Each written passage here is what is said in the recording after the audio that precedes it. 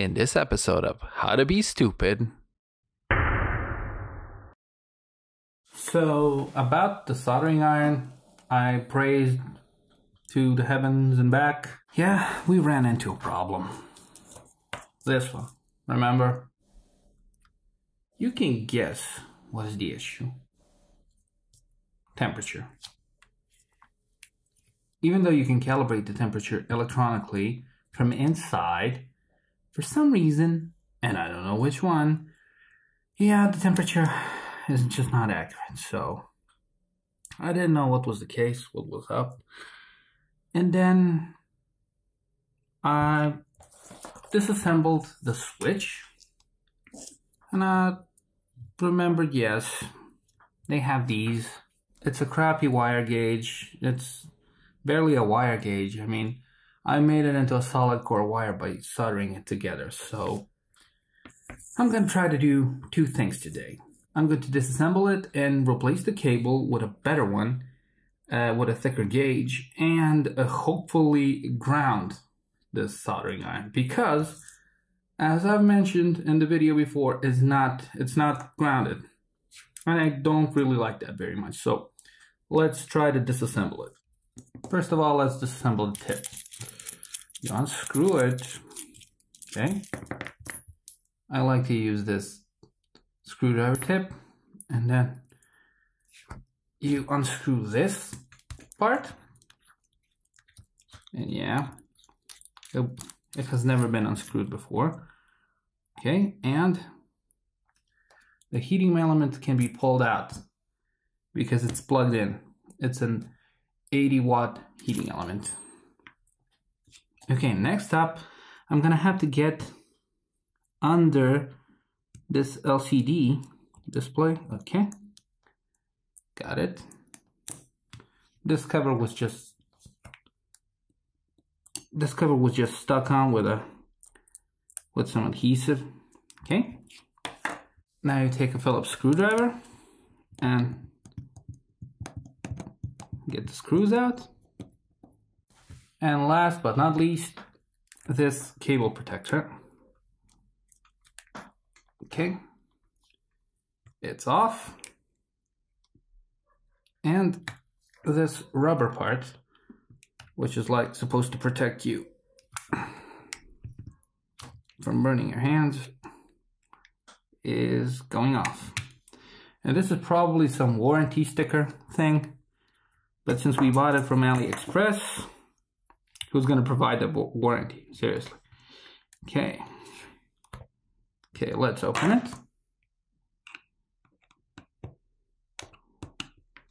and we're in. Now this really makes me mad. As you can clearly see, they built a PCB that can support the earth connection, but they didn't solder any. They just used regular live and neutral, but no earth connection. Now that's, that's dumb. That's, that's, that's really dumb. Let's get it off. Let's, let's, let's cut it out. Let's cut it out because we're mad. Okay, the cable goes up. And as you can see, the design is fairly simple. I mean, it has a MOSFET that turns it on and off using a PWM signal. That is all right, that's okay. Um, what's next? They have an LCD display. These are two switches. Uh, there's probably a microcontroller under this LCD display. I'm not gonna remove it. I like it being stuck there, but let's let's let's just zoom in and let's see. Yes, there's a microcontroller down there. Okay, we're gonna replace the wires and uh, this connection here. I I don't like this. This doesn't have enough solder. This is this is BS. This is hanging by a thread. This is this is not good. Oh, oh, I don't like this. Oh, cheap Chinese garbage. Okay. We're gonna have to intervene over there too. So let's add a little bit more solder. I mean, there is contact here, but I like to thicken the trace a little bit. So let's do that. I just strip the new wires. This is the this is the cable that is usually sold for uh, clothes irons.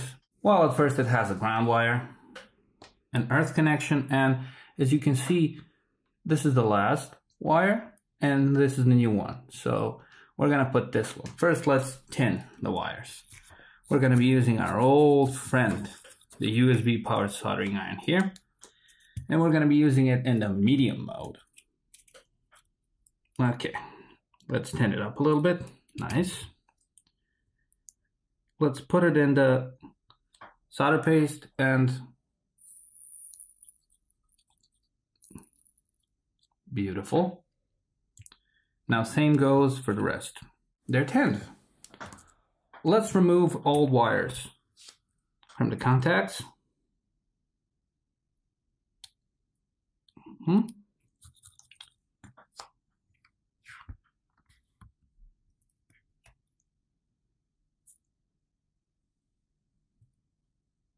We remove the old wire.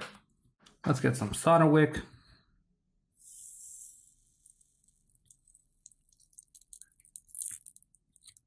Okay.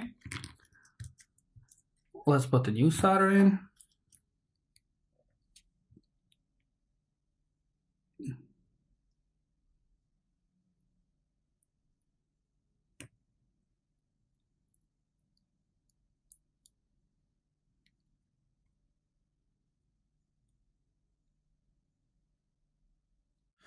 And I'm sorry, I don't like the look of this solder. Um, the solder wire was some El Cheapo that I got in my hometown and it looks really bad. I would like to wick it off. Seriously, it looks really bad.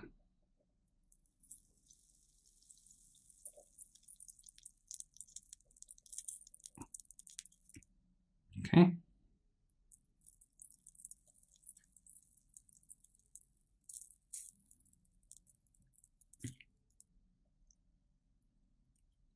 Okay.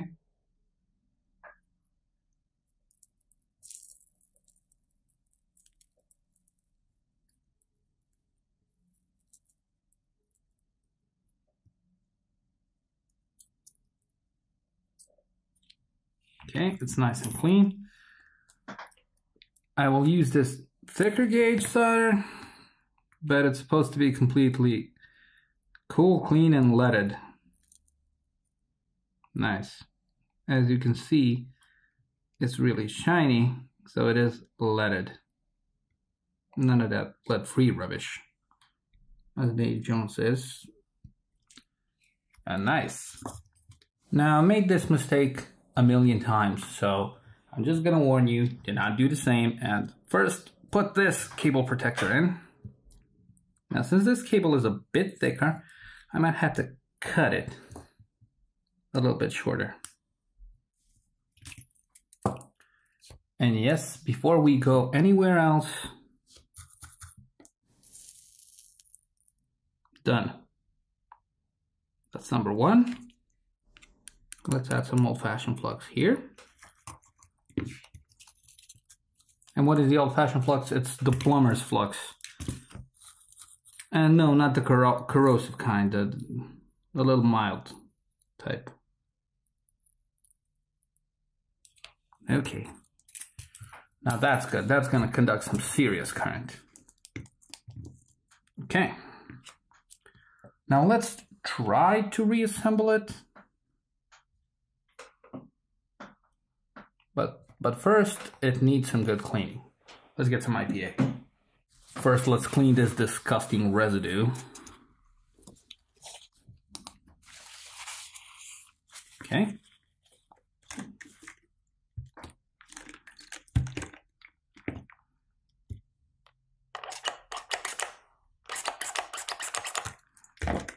And let's use a cotton swab to clean the contacts and the board.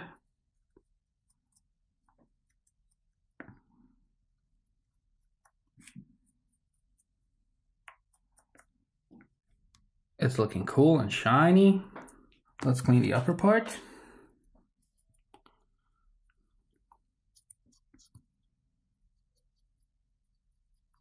Okay. Nice, clean, and shiny. Beautiful. Let's try to assemble it in the box.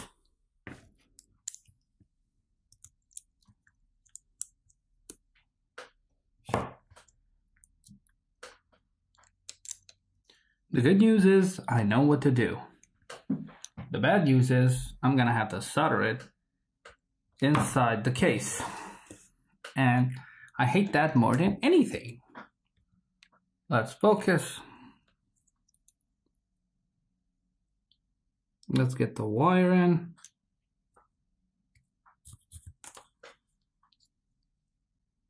And let's solder the live wire first.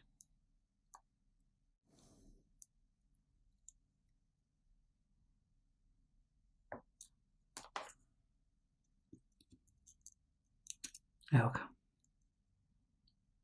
And there it is.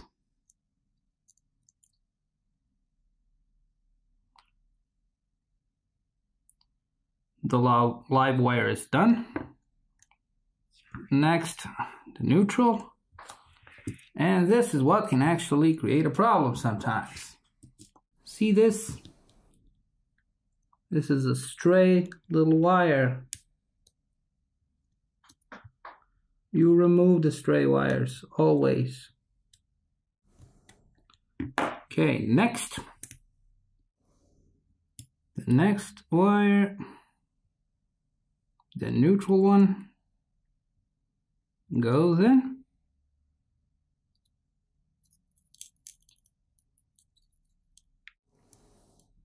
I will touch up everything again with flux. Okay, the third one goes in.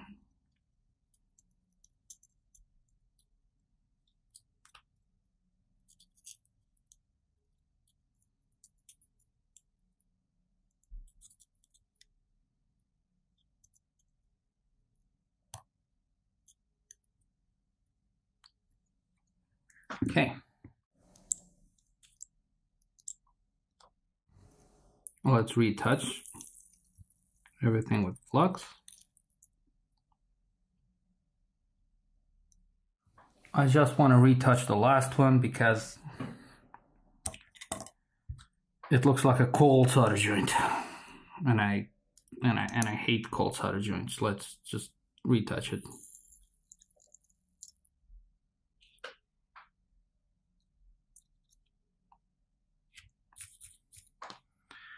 Done.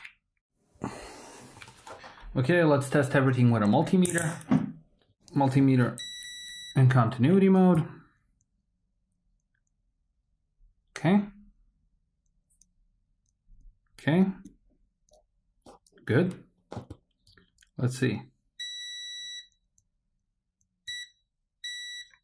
Nice.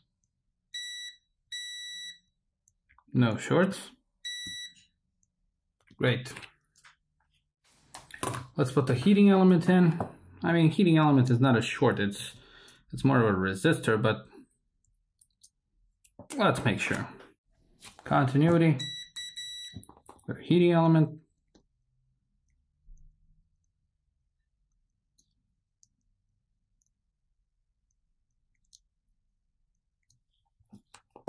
But that's okay. Let's reassemble the soldering iron back as it was. I turned off the multimeter. Good. Good. Okay. I mean, everything looks all right. If I had the solder mask, I would put the solder mask over that so so I prevent any unnecessary and unwanted shorts, but I'm not worried about them. Let's clean it, clean the contacts with a bit of IPA because we touched it up with uh, with the flux nice and shiny. Great. Uh, what's next? The next thing is this thing. Okay I put it back together. Somehow let's screw it on. Now if I flip the color of the switches I don't really care that much. I'll just see which one which one rises, which one falls, and I will adjust as needed. Okay, I got everything back. Let's put the heating element back on. Hopefully not in reverse, great. The heating element is on. Then this holder. This holder actually used to contain a spring so that this part would be grounded as well. But let's see. Let's see when we assemble it completely.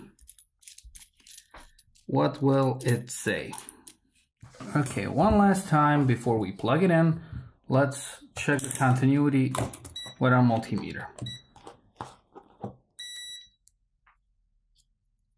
Okay. The tip is not earthed. Again, which is a problem. I don't like that fact. Ah, damn it. Okay. I will think of something with a spring, or I will just stop effing around and get a real soldering iron. A good legit soldering station. Okay, let me just plug it in. Oh god.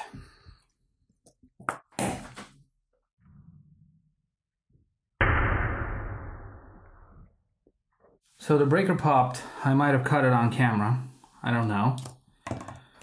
Something uh, smelled like burning, as Ralph Wiggum would say. I'm just gonna open and see what got destroyed. Where was the short? I was wrong to tell you that this is the perfect iron for you. It's definitely not.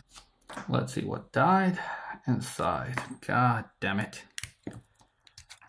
I mean, thank God the breakers and the installations in this apartment building are great. Okay. God damn it. It's the microcontroller. It burned.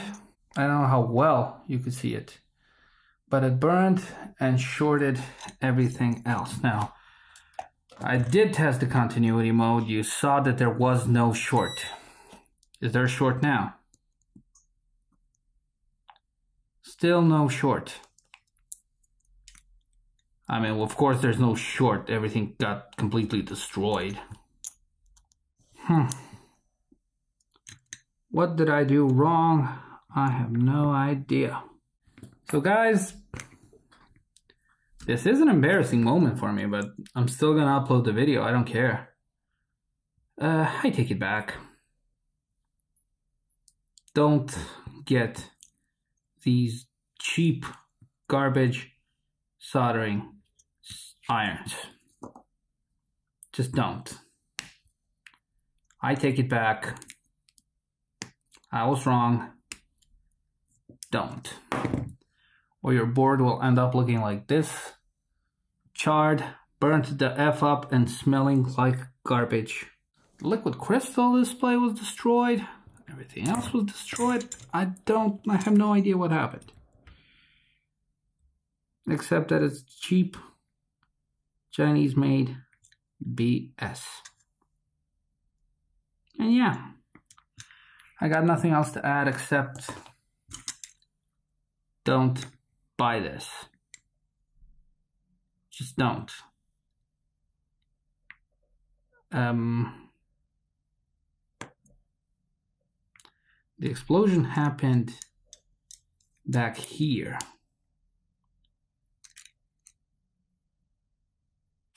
I mean, it looks like this trace here burnt completely. If anyone can, could point me where I went wrong, I would appreciate. But this here and earth are supposed to be connected. This is where they usually connect the spring so they can earth the tip. Even if you put the earth connection on, the tip is not earth because I'm not going to reverse engineer this. I really don't care.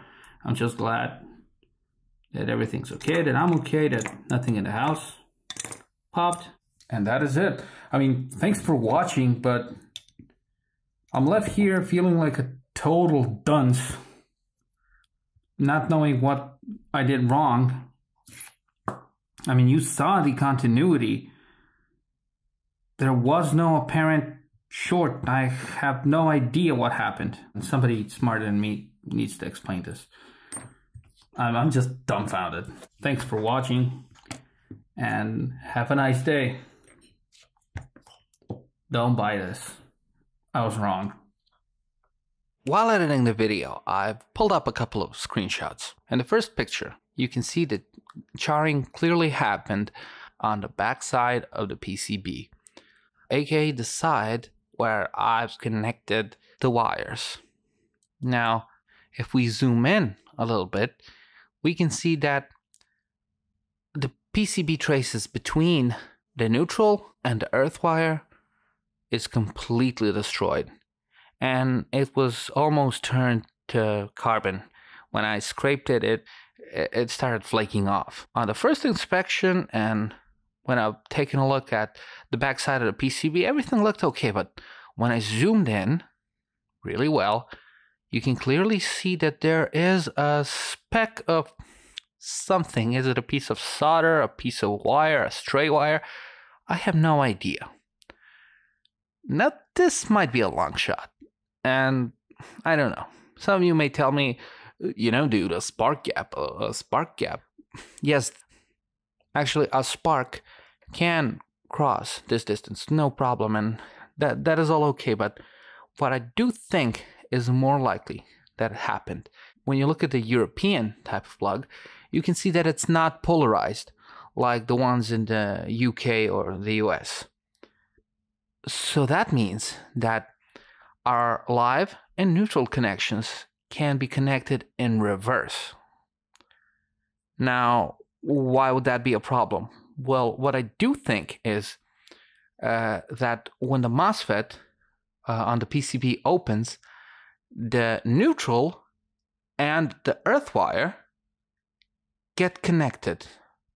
The neutral wire is earth on the PCB itself, but only when a MOSFET is open. And you can see where I'm going with, going with this right now, right? If I connect the live and neutral in reverse, the blue wire can become live. When the MOSFET opens, I've essentially shorted the live wire to earth ground. And that would be a very good explanation why the breaker in my wall popped. It pulled so much current that, yeah, a bang is the only logical thing that would happen. I mean, I don't know.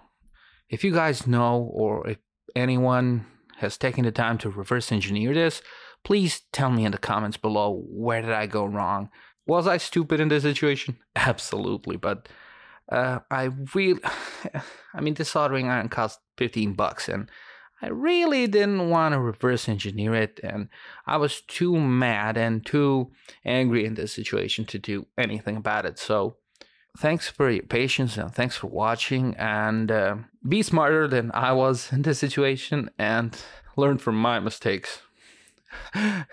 okay. Uh, catch you in the next video, and bye bye, guys.